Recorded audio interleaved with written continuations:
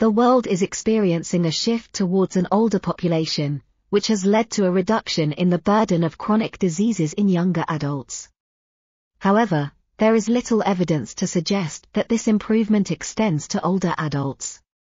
Statins have the potential to reduce the risk of various causes of disability in older age, including major cardiovascular disease.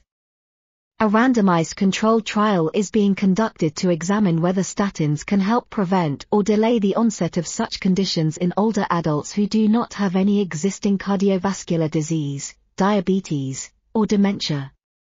The study will involve participants aged 70 years and above, who will be randomly assigned to either receive atorvastatin, a type of statin, or a placebo. The primary outcome measures include disability-free survival, defined as survival-free from dementia and persistent physical disability, and major cardiovascular events, such as cardiovascular death, non-fatal myocardial infarction, or stroke. Secondary outcomes include all-cause mortality, dementia and other cognitive decline, persistent physical disability, fatal and non. This article was authored by Rory Wolfe, Christopher M. Reid, Andrew Tonkin, and others.